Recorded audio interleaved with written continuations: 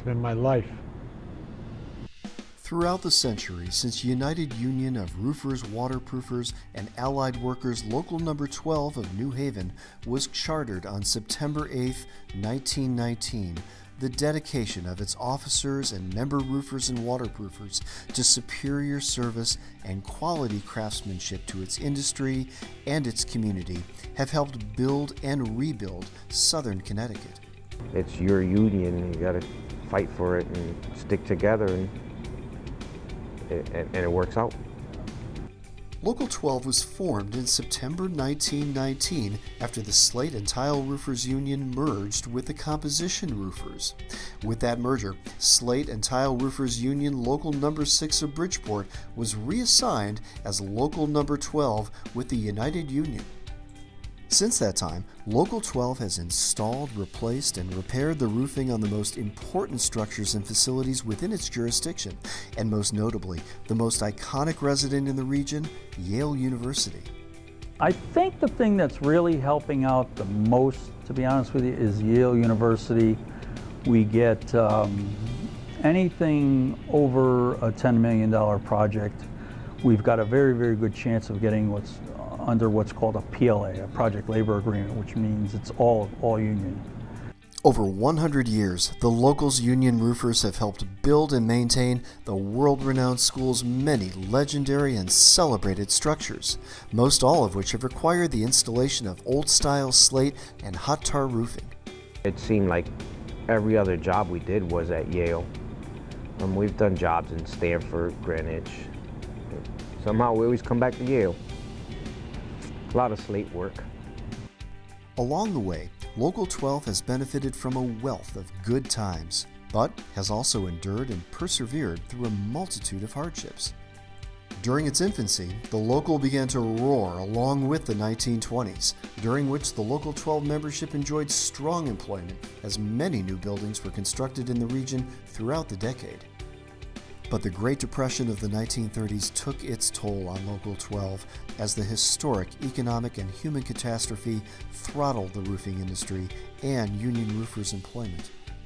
However, in 1931, the United Association chartered new composite and gravel roofing local number 107 in Bridgeport.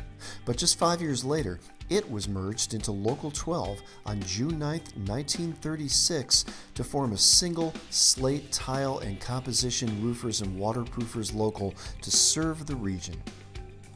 World War II likewise had a profound impact on Local 12, a dozen of whose members served in the armed forces during the global conflict.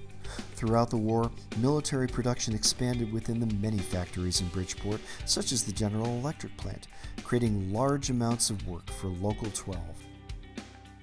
During the decade and a half after the war, employment remained plentiful throughout the 1950s. During that time, the locals contractors implemented new technologies on their jobs, such as felt laying machines. But the locals roofers more often than not applied roofing in the age old manner, with hot jobs the norm as it would be throughout the 1960s. The new guys didn't know that much about swinging a mop, right? They were more, um, we had rubber crews and hot tar crews. In those days, you know, it was tough because everything was done by hand. You know, it isn't what it is today, you know, a burned down, a rubberized roof. Uh, the tar industry that we use, you know, the coal tar pitch, uh, the uh, asphalt, uh, dead level. There was three different kinds of hot tar that we used in those days. And the toughest one was the coal tar pitch.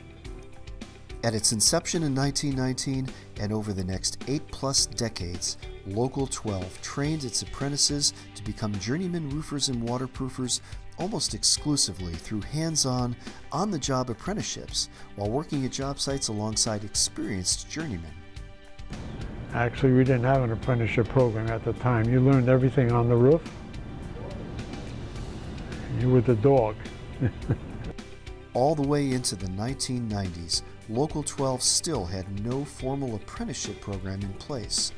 Training consisted of very little classroom or laboratory education, as apprentices continued to learn primarily while on the job.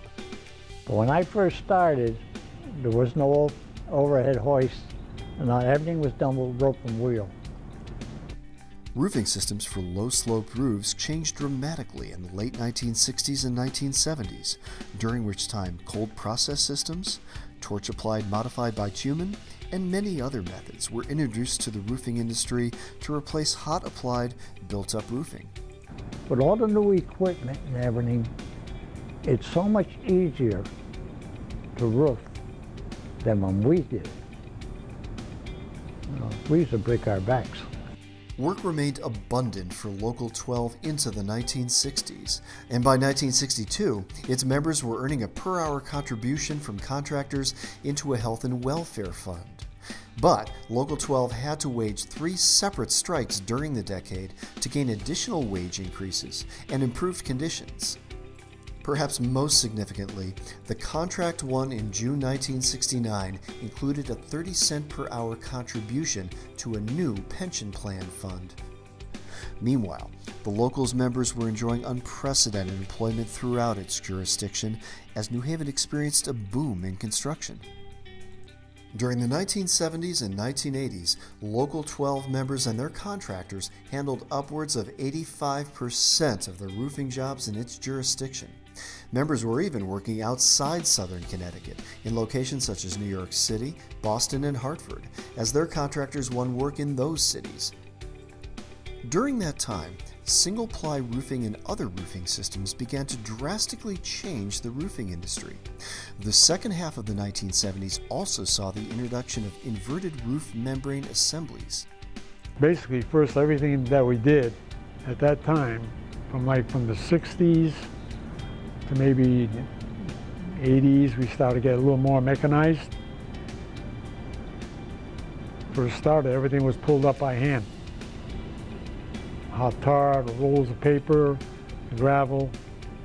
And a little automation, we got a little machine that we filled up a box about this big, gravel, and had a little machine on the ground, hoisted it up, wheelbarrow full.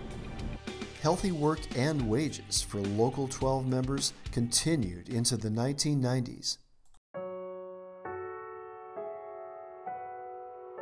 We had it bad we, I lost a lot of money.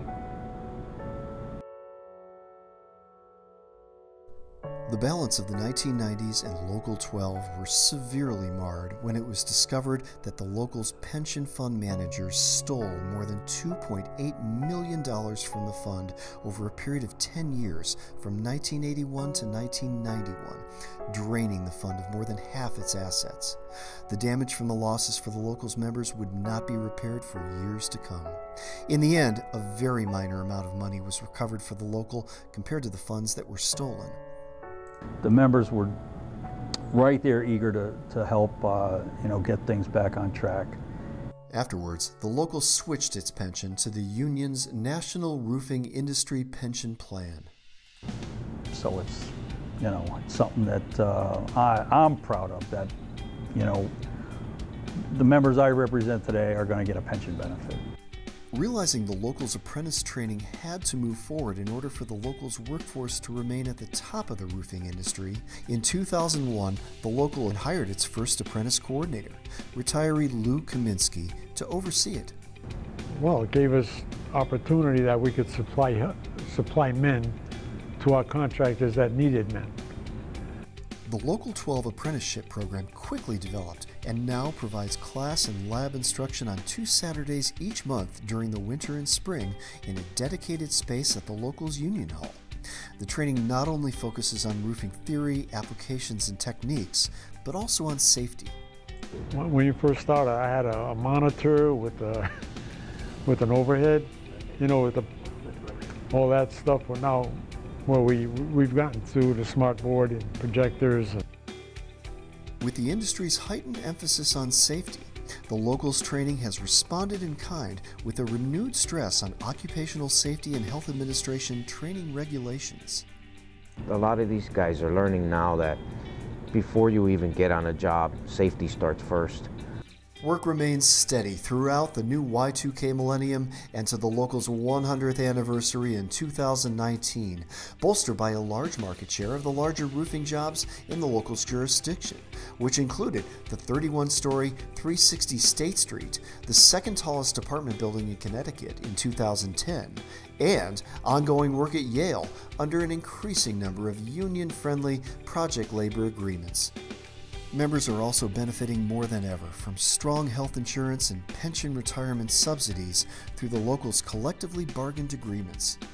When you get your pension statements, you know, it's, it means the world.